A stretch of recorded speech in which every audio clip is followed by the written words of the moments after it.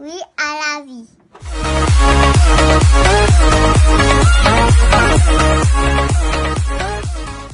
Hey Zénith, mettez sérieux, quand boire pas conduire et quand conduire pas boire.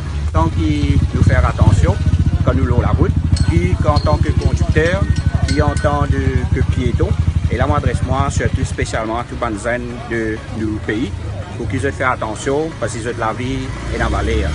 Et je dis à tous de l'avenir pour faire, n'est pas pour bon, il n'est pas pour correct, qui demain, la cause d'un accident de la route, je trouve de la vie bonne rêve cassé.